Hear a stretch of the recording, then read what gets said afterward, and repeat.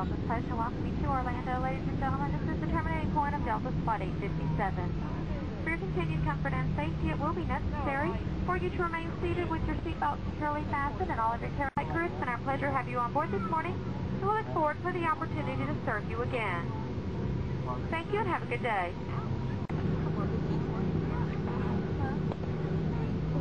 Putting out in the air at all, are they?